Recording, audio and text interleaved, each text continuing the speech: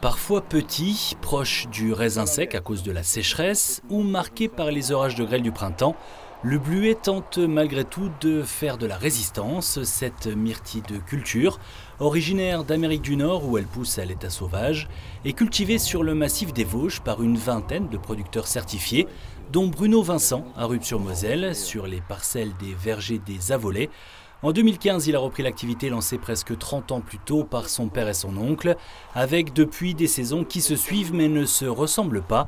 L'année 2020, par exemple, a été exceptionnelle, 2021 catastrophique à cause de longues périodes de pluie. Et en 2022, ces fruits ont subi, on l'a dit, d'abord la grêle et aujourd'hui le manque d'eau. Cette parcelle d'un hectare, cultivée depuis seulement 7 ans, mais qui compte tout de même 1500 plants, ne devrait donc pas donner grand-chose. L'arbre se met en stress et il pompe l'eau qu'il a mis dans les fruits pour se sauver lui-même. Donc à la limite, tant pis pour cette année, l'arbre se sauve, c'est déjà le principal. On aura quand même un peu de récolte. Aujourd'hui, voilà, c'est une plantation récente, on fait, on, fait pas trop d'objectifs ici.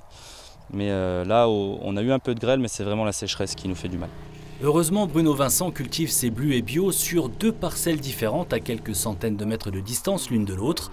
Deux terrains d'un hectare chacun, mais deux situations différentes. Si l'un est cultivé depuis 7 ans, en plein soleil et sans eau, l'autre l'est depuis plus de trois décennies avec de l'ombre le matin et le soir, et surtout un puits qui permet d'irriguer les plants.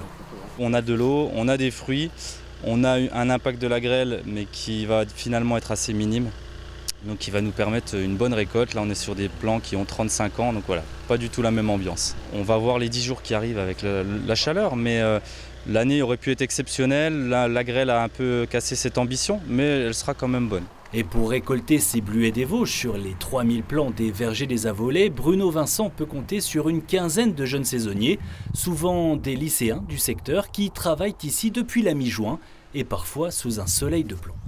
C'est surtout les après-midi par exemple, bah là, avec les fortes chaleurs, euh, de plus de 35 degrés, c'est sûr que c'est un peu compliqué, donc il faut prendre de l'eau, se couvrir aussi la tête, parce que, bon, personnellement, euh, j'ai aussi déjà fait un malaise lundi à cause de ça. Donc ça m'a un peu servi de leçon euh, pour prendre de l'eau, etc. Mais sinon, ça va, c'est pas non plus super dur à supporter. La récolte va se poursuivre ainsi jusqu'en août, entre les fruits marqués par la grêle et la sécheresse.